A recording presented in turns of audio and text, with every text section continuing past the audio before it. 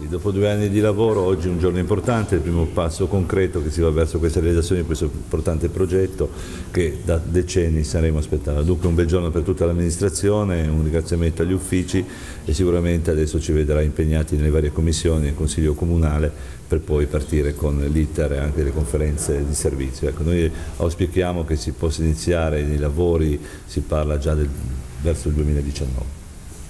Da sindaco l'emozione nel vedere nascere un progetto del quale si parla da decenni a Sanremo. Sì, è un una grandissima emozione, come dicevo, e siamo felici, ma soprattutto è una struttura, secondo noi, importantissima per tutte le nostre associazioni sportive, ma anche perché questa, con questa struttura si può utilizzare, dire, anche per un, un turismo sportivo. Quante, quante, squadre, quante di varie nazionalità, sia estere, italiane, nazionali, che vengono qui a Sanremo e cercano strutture di questo tipo anche per prepararsi ad importanti appuntamenti. E poi si possono fare eventi, si possono fare tantissime cose all'interno di questa struttura, basti pensare che ospiterà, ci saranno più di mille posti a sedere e potrà essere utilizzata per tantissime cose.